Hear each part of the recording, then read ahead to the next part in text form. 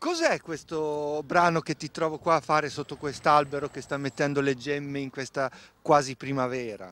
È una elaborazione di un brano per cornamusa scozzese che faccio al violino e sono qui sotto un albero, poi questo diciamo così eh, rifugio creativo perché c'è bisogno di un'ispirazione no? per fare anche qualche cosa che sia in tema con questa competizione eh, agonistica o amatoriale comunque di questi ciclisti che fanno queste salite, queste discese, queste corse che ci vuole dei polpacci. Eh, eh cosa hai detto te lo sai, eh?